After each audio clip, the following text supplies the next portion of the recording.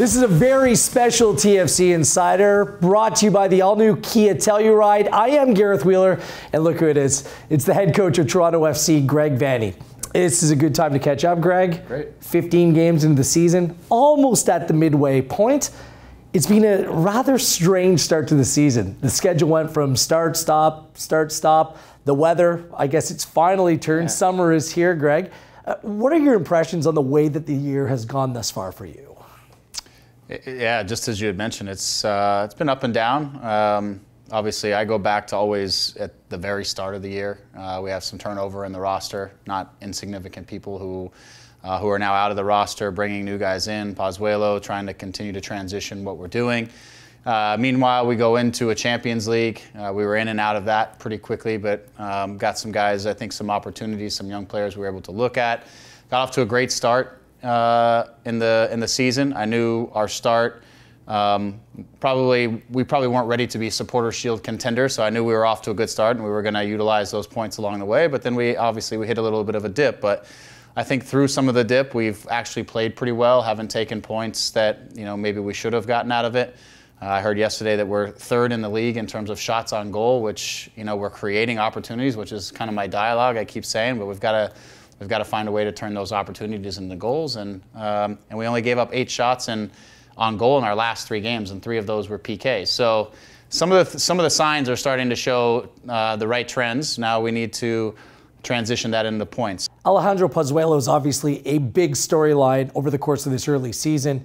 Comes to this club, reputation, people were looking forward to seeing what he's all about. Five goals, eight assists in just 12 games. What has impressed you the most about Pozuelo and the initial impression he's left on you in the group? I think his, his ability to impact the game in the moment, I think, is um, what we had hoped for. Uh, he he's got such good vision. He's got good passing. Obviously, it's well noted he can do different things with each foot, and uh, but he's shown that he can he can change a game in a flash. Uh, I think he's gone through a stretch where he came in really hot, and the adrenaline was was high, and had a great start. I do think you go through a normal sort of settling in period when you're trying to find a house. You're, lots of things are going on. You're trying to bring your family over. You're running hot because you've played an entire season before. Uh, and I think you know this last stretch of games, he started to come back out of that, and and again showing his capacity to to turn a game quickly. So.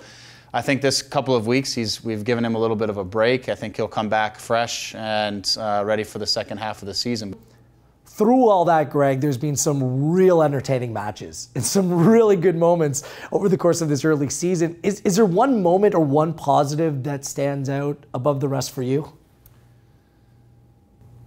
Well, I think um, I, I, stay in sort of the short term, but the biggest and the most interesting moment I think was probably New York City. The goals that uh, Pozuelo scored, his integration into the team. Uh, sort of, we had everybody on the field that day. We, we, were kind of clicking in all cylinders. That, for me, was sort of the high point of the season. I think we've obviously gone through a tough stretch, and I think just the resiliency that the group has shown over the last two games is uh, is important. We, you know, we took tough goals in the in the last couple of games late, and we were able to battle back and and get the equalizers out of those. So, uh, in a long season, I think there's always like different facets of the season that um, where you see different parts of your team that are important. And you know, this this resiliency in the last part was very important. I think we saw a little bit of the level that we're continuing to try to to get back towards with everybody healthy.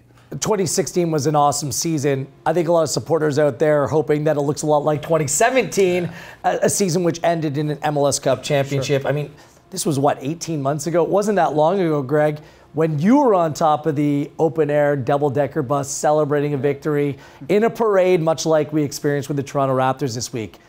When you were watching the Raptors celebrate, were you kind of recollecting, remembering, and taking in your own experiences being on top of the double decker bus and having that parade? Yeah, it, it's uh, just the whole process, the whole run that they had through uh, through the playoffs. It's hard not to to find some similarities with, within their team or to see some similarities in terms of the, the emotion and the fan response and uh, even some of the language that you can hear the players using about uh, their process and uh, one play at a time and a lot of these things that are, that are very similar. I think if you listen to any team that is championship uh, bound or quality, uh, you, you start to feel and, and, recognize some of those similarities. for sure, with they're on the bus, the celebration, I actually looked and said, those guys are a lot taller than our guys. They, they better duck when they go under the bridges because I know our guys were having to duck. So there, there was a lot of things uh, that, that we remember. We want to remember them enough that we can recall those feelings and, and try to battle ourselves back into, into that kind of position. So we feel like it's, it's our turn to try to, uh, to answer, uh, and our guys are working hard to get there. Greg, thank you for doing this. Best of luck over the course of the second half of the season. Thank you. Greg Vanney and Toronto FC will be in Dallas to take on FC Dallas this Saturday night at 8 p.m. Eastern Time.